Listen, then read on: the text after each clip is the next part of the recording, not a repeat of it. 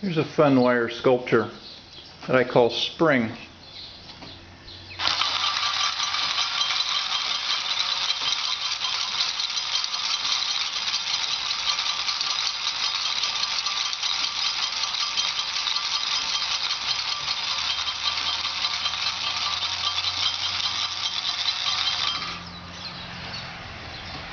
Over here next to it,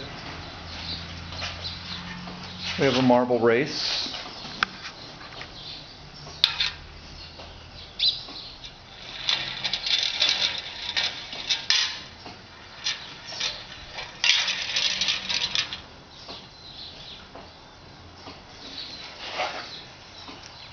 And then one here that's operated manually.